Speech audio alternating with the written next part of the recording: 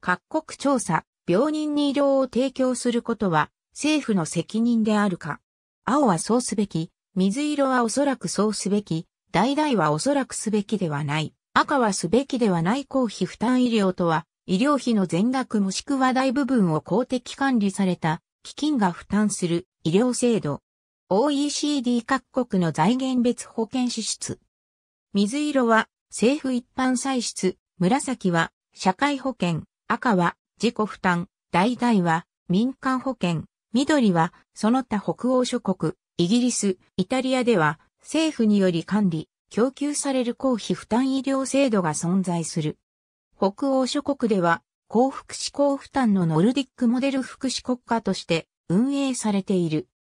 日本の医療における公費負担医療は全額公費負担のものもある一方、医療保険制度が優先でその自己負担分のみに対して公費負担が適用されるものもあるなど、とても複雑なものとなっている。また、公費の国と地方自治体の負担割合も制度ごとに異なっている。さらに、乳幼児医療制度などに代表される市町村独自の公費負担制度は、実施の有無、名称、対象者、年齢、認定基準、窓口負担方法、負担金などの細部が自治体により異なっている。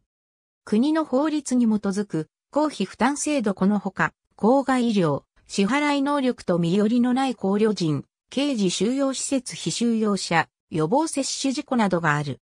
地方自治体の条例に基づく公費負担制度障害者自立支援法に基づく自立支援医療の受給者証と自己負担上限額管理表の令状期はいずれも各自治体の条例に基づく制度であるため、名称や負担の内容等は各自治体により異なっている。ありがとうございます。